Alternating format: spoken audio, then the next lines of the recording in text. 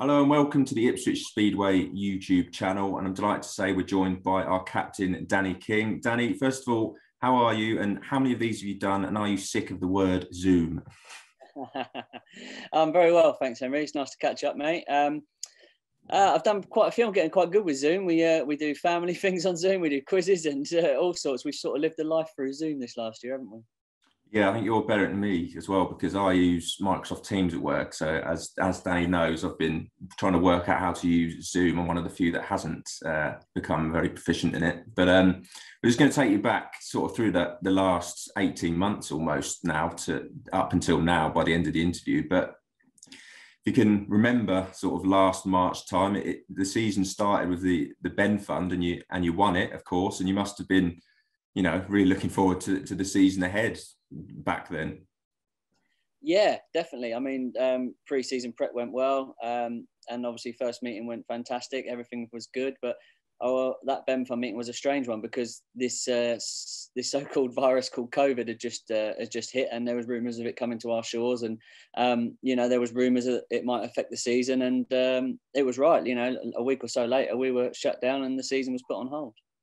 Yeah, I remember talking to you about, and as well, no one kind of obviously knew at all what the what the impact was, was going to have on on everything and our whole lives. But how was the uncertainty for you back then? And you know that the season was delayed and there was new dates and they were delayed. How was that from a sort of mental perspective, trying to to get around your head around, you know, possibly not being able to do your job? Yeah, well, early on it wasn't a, a big problem because it was just, uh, oh, we're gonna we're gonna knock the season back a month. Um, all right, fine, you know, we can deal with that. Um, and then another month went by, and another month went by, and then they sort of said, look, we're still looking at doing something. But at this this point, we were sort of well into July, August time, and um, and obviously that didn't happen either. So that was the point really where I realised, oh, we've lost the season here. You know, um, this isn't good. Um, you know, I can every time it was just a month, it, it seemed okay. I can I can manage another four weeks. Let's just you know keep fit and and keep ready and and just be ready to go when we get the phone call. But unfortunately, we never seem to get to that deadline how did you deal with it? Because obviously this is your your livelihood that you've done for as long as you can remember, I'm sure, and it must have been very difficult coming to terms with, all right, I'm not going to be able to do what I enjoy and earn money.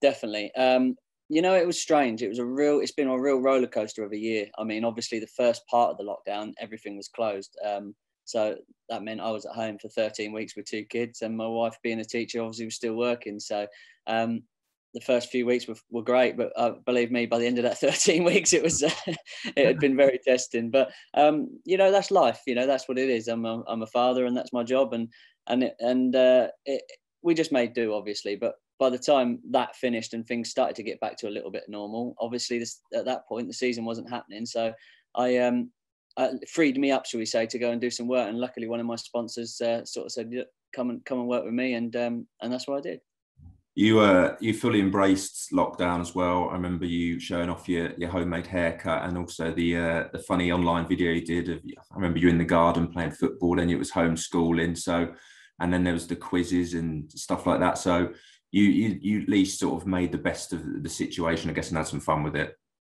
Yeah, that's the sort of person I am, Henry. Um, people, you know, you speak to anyone, that's just they'll tell you that's my nature. And um, you know, there was a lot of doom and gloom around, and my wife sort of said, "Why don't we just make a video and uh, you know, a bit of fun and maybe give something."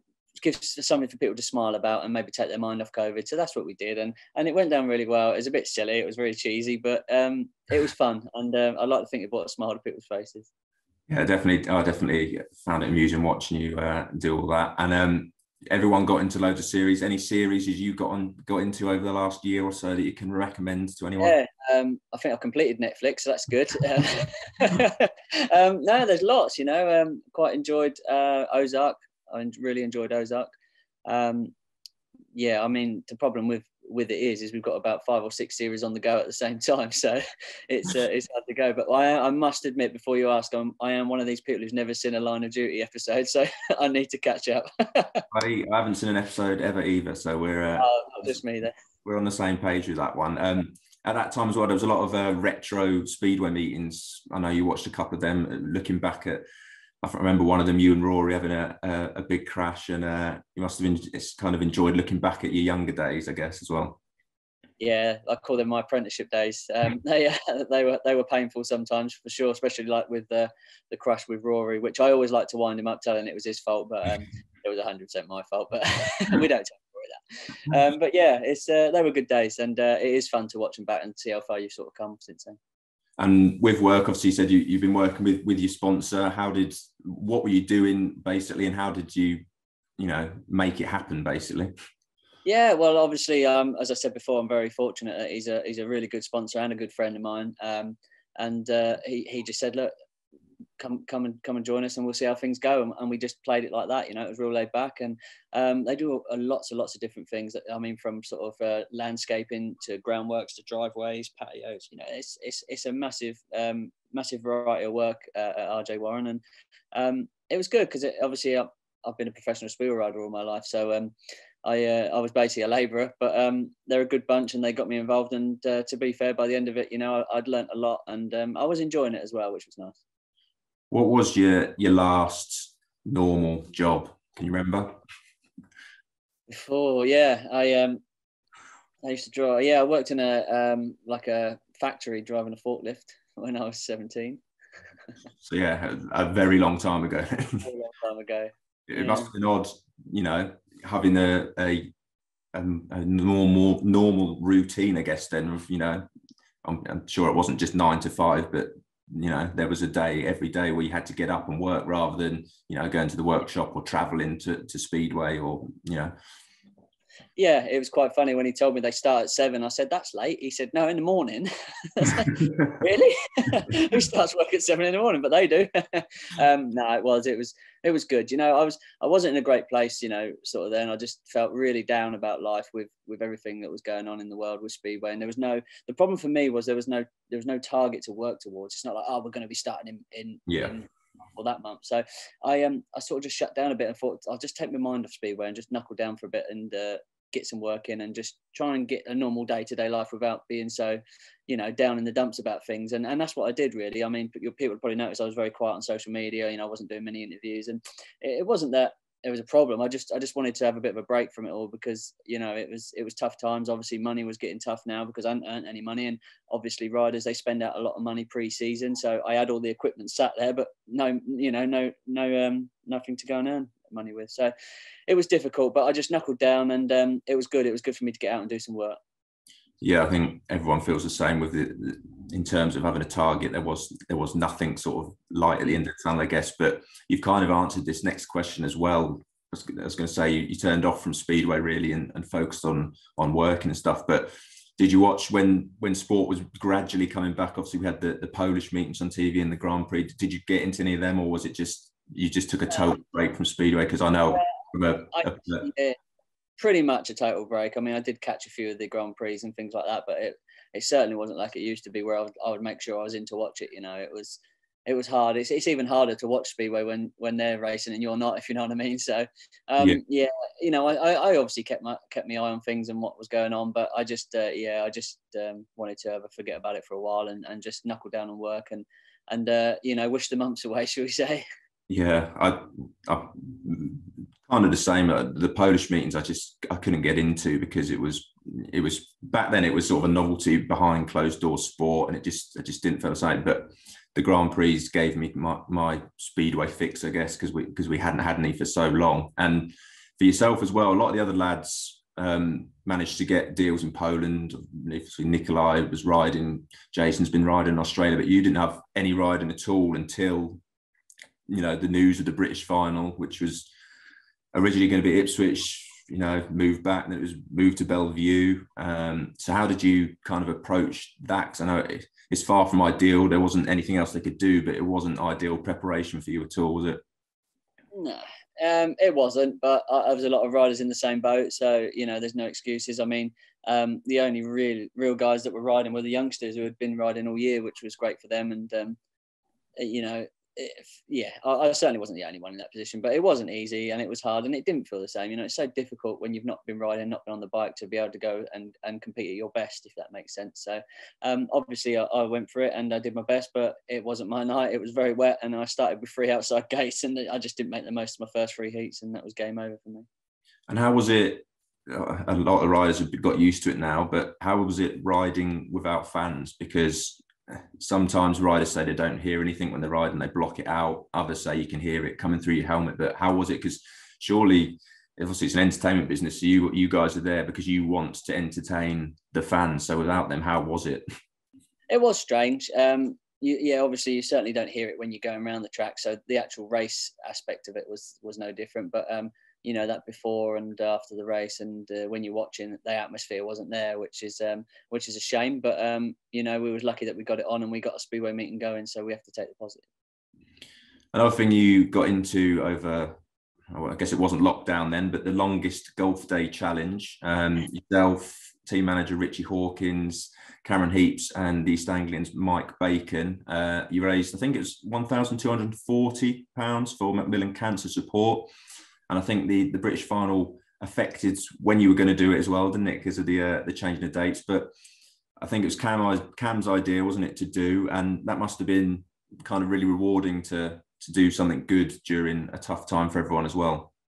It was, yeah, and it's a typical idea of Cam's to do the longest golf day on the pretty much the shortest day of the year. So um, it was certainly a, a challenge. Um, it's tough to get four rounds in, in, in a full day, but we were pretty much running. We teed off in the dark with glow in the dark balls, and it was dark when we finished. But you know what? It was for a great cause, Henry. Um, I've lost both my nans to cancer, so it was something close to my heart as well. And when Cam brought it up, that's that's why I jumped at the chance. So um, it was a fantastic day, and I'm really pleased with the money money we raised in such a short amount of time.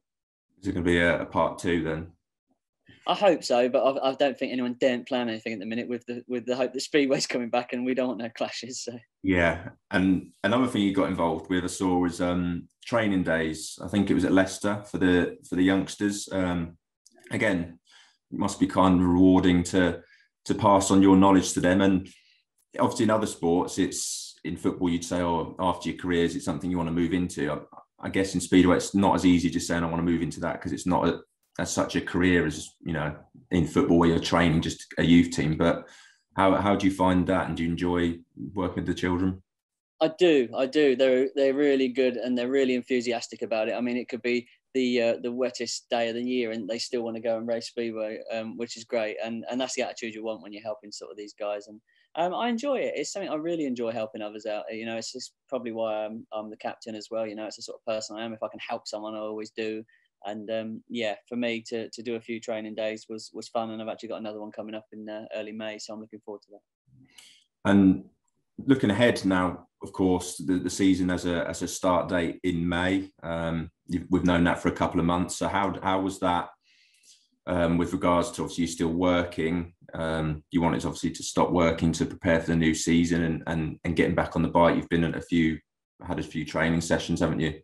Yeah, yeah. So work was a bit strange in the end. Um, the the lockdown after Christmas um, was a little bit more tricky because um, my in-laws who normally help out with the childcare, they're quite elderly, and this new strain was at the time they were saying was five times more um, dangerous. So I straight away shut the that that, that path down because I did not want them to get, you know, that my kids are at school mixing with other kids. If they're bringing a virus home, I do not want my in-laws to get it. So I ended up working uh, pretty much part time. I was still seven, but till half two, and then I was having to come home to get the kids, um, which is fine. You know, again, that's my job. I'm a dad, um, but it just meant obviously left working less hours, which was well, that's the way it is, I suppose. But um, yeah, so I did that until um, end of April. So I basically took May, um, sorry, end of March. So I've took April off just to to get some training in, uh, get on the track, get bikes ready, and and that's what I've been doing. I've just been I've been training and I'm feeling good. It's, you know, I hardly did any training back end of last year because, as I say, there was nothing to work towards, um, and that was difficult and it's hard to get motivated. Um, but obviously, since now this is all happening, the motivation's back, and it's been really nice just to get out there, go for a run, go for a bike ride, you know, whatever it may be in the gym. Um, and it does, it makes you feel better. And I've been on the bike four times already, and I'm feeling great. I just can't wait to get going. How was it the the first time? Do you feel rusty, or do you just do a lap and then it's like, oh, I remember how to do this? Yeah, I think the saying "it's like riding a bike" is very true. Um, yeah, I was a bit nervous. You know, I've been on a bike for a long time, but it's yeah. one of the things. Once you pull that helmet on and get on track, you just go for it. And yeah, it was there. It was um, it was normal. So it's it's certainly probably been the longest time I've been off a bike. But um, yeah, that feeling when I got back on it was uh, something I've I've surely missed. And one of the, the big changes in British Speedway this year is the Rising Star program. Um, what do you make of the changes made in British Speedway over the winter? Yeah, I, I, don't think it's a bad idea at all. I think it's good to to be pushing the younger guys through. Um, you know, I'm all for that. Um, they are the future of our sport, so um, it is. It is. Yeah, it is what it is. I mean, they've had a lot of time off, I suppose, to try and think about things, and this is obviously we've done something similar before, which um, maybe it didn't quite work the same, but this is a different way of doing it, and it involves all these these up and coming youngsters. So um, for for Great British Speedway, it's definitely a win. With regards to the the Witches team, obviously there's two changes from our our planned team for last year. Jake Allen and Nico Covatti not travelling for for COVID reasons, really. Um, Jordan Stewart and Anders Rowe in for those two. What do you make of those two changes? Obviously, a shame to not have Jake and, and Nico, who are much loved at Foxhall. Yeah, and I'm I'm very close with the pair of them. Um, you know, I've known Nico since he started uh, in England at Birmingham, probably back in 2012 or 13, and we've um, we've really hit it off. Considering when he first started, he couldn't speak a word of English, so we used to talk into our phones on Google Translate so we could communicate. um, you know, he he come a long way, and he's he was a real fan favourite. And um, Jake was the first year I rode with him last uh, last season. We rode, and um, we hit it off great. You know, he's he's a great guy, and I think he's going to be a fantastic rider in the future. And it's a shame that he's not back, but you know, you you have to understand the uh, the situation. And Jordan and, and Anders, how much do you know about them? So not a lot, really. I'll be honest. Um, I've met Geordie a few times, um, and he's a lovely lad. He's real down to earth, and I think he's got a lot of potential. Um, so yeah, I, I, think he's going to really step up and take uh, take the challenge with both hands. So that'll be good. And Anders, I must admit, I don't know much about at all, but again, um, up and coming rider, and his scores, you know, in in uh, other leagues have, have shown what he's capable of. So hopefully he'll do the same, and uh, you know, being alongside Drew at reserve, uh, they'll bring the best out of each other. And and the rest of the team, what how do you how do you fancy your chances here? Obviously, everyone's talking about Jason Crump returning to Speedway and a strong spearhead with yourself and Nikolai Klindt as well. Yeah, I like the team. I do like the team. Um, it's very difficult to gauge um, with the way the teams are at the moment because there's, you know, some they've only just been completed, I suppose, and it's hard to sort of fair where everyone's going to be. But I feel we're going to be there or thereabouts. So um, I think Jason, you know, I kept an eye on him a little bit over the winter, and he was he was racing really well in Australia. So I know he's excited to get going, and I'm excited to see him get going. So um, and obviously Nikolai, you know, he's already riding, so that's a bonus for us. So yeah, come come May, um, if we can hit the ground running, I think we're gonna we're gonna have a good team. And Drew Kemp and Cameron Heaps, obviously two people you you know well, and it's it's it's important in speed as well to have that core of people who know Ipswich Speedway, I guess, as well. It is, and um, you know, Cam, he's a bit like me. He's been involved with Ipswich Speedway for a long time, and um, uh, you know, I felt a bit sorry for Cam because he had a fantastic year in 2019, and it's a shame he couldn't keep that rolling over into 2020, obviously with COVID. But um, you know, I'm, I'm confident that he's going to carry on that form, and uh, he's going to keep taking that next step up, and uh, that's exactly what we want. And with regards to the, the Premiership as a whole, obviously Swindon sitting out, so there's reduced teams to what there usually is. Um, what do you make of the rest of the teams, and uh, have you even looked at them? Are you, do you just focus on Ipswich? How do you see the season going? Uh, yeah, I mean, I've looked at them. Uh, I haven't studied them, I must admit, in detail, but I've looked at them and roughly know who, who's where. And um, yeah, as I say, I think we have a good chance. I'm really pleased with our team and the way it's been built. Um, I think we have a, a, great mixture of youth and experience. Um, and if we can make that work, then obviously that's going to be a bonus for us. Um, again, with the six teams, it is a shame, but can understand. Um, but I think that the main thing is that we do get going I don't think we can be too picky on how many teams and, and this and that. We have to get going and, you know and save save our sport and keep that going and, and and try and rebuild. You know, bring it up next year. Hopefully, we can get back to some sort of normality.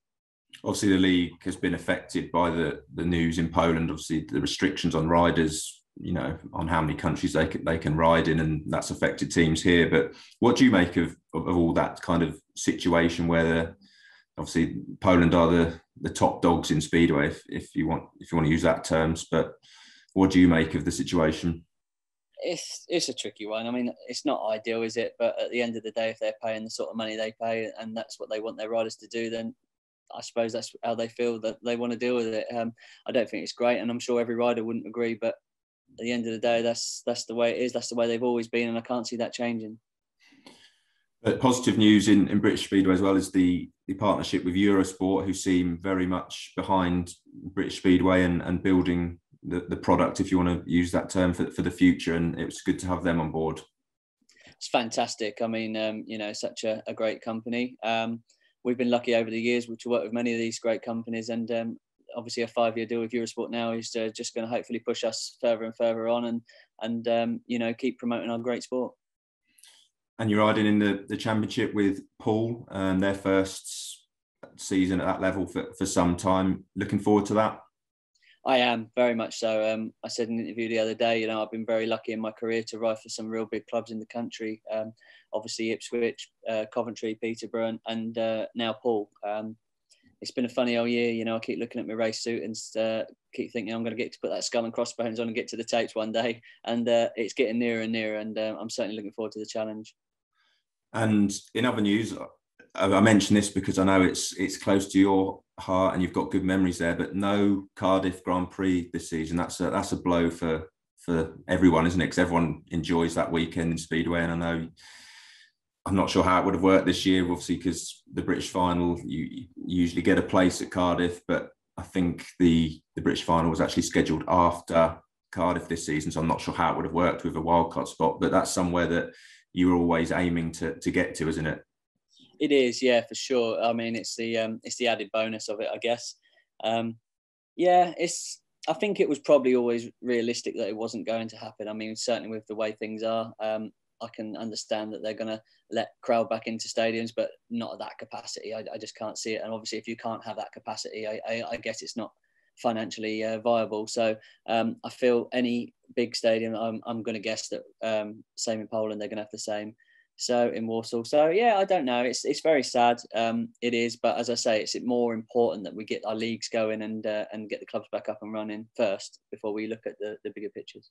Yeah, and another good news story is was the news of season ticket holders donating three thousand seven hundred ninety seven pounds to the riders. This was um, this was people who had a season ticket but rolled it over to the new season were entitled to a refund because of the reduced fixture lists, um, but they had the option to, to, donate that refund to the supporters club um, to put towards the riders' equipment for this season. And um, you must be really grateful for for that support from the supporters. Absolutely. I mean, um, it just goes to show what sort of what sort of support we have at Ipswich and uh, what a fantastic gesture to do. And I know that every single rider who's going to benefit from that is going to be so so grateful. Um, yeah, it, again, it's tricky times as well. You know, you'd you'd expect these guys to go and get their refund in in the current climate, but no, it just goes to show the passion for the sport. And and uh, we we thank you all definitely, hundred percent. And fast forward less than a month now, Kings Lynn away on the on the first day of the season. Um, a long wait, obviously, to get back to tapes. A local derby. Um, how are you going to feel on on on race day? Nervous, uh, excited. Um, yeah, it's going to be great. I mean, it's going to be a lot of pressure. Um, I know that um, the rivalry between the two clubs is obviously big, and that's never going to change. And um, you know, it's a must-win. Uh, but on the other hand, no one's been to the tape, so for us riders, it's going to be quite nervy. But I know that everyone's going to be up for the challenge for sure, and uh, I know we're definitely going to be going there to, to get the win. We're not going there just to make up the numbers. So um, it's going to be tough, and uh, obviously to start on a on a, a, local derby is is not ideal. But on the other hand, it probably is at the same time as well because they haven't had many uh, many meetings on their own track. So maybe it's going to be the perfect time to strike. And finally, for me, what are your ambitions for the season personally? Um, at this stage of your career, what what do you sort of target every season? Um, so obviously, uh, domestic leagues, I always target playoffs. I think you know, obviously, to win the league is going to be the best option ever. But um, you have to be realistic, and I think the first target is to get to them playoffs. So um, I'll be looking at playoffs for both teams. I'm really happy with both teams, as I've already said. Um, and on a personal note, obviously the British title. I won another British title. I won it in 2016, and then I came second in uh, was it 2018, and then obviously didn't go my way, or 2019 didn't go my way. And yeah, after my injury, 2019 come second. I felt I should have won it that night, but it just wasn't. I didn't make a good start in the final, um, and then I had a bad one last year. But you know, it's just the way it was. So um, I want to get going, get going good, and uh, yeah, have another crack at the another British title. Yeah, just to get racing, I think is the um, the ambition for everyone this season. But um, thanks very much for for joining us, Danny, and we'll see you at the tapes on the seventeenth of May. Look forward to it. Nice to catch up, Henry.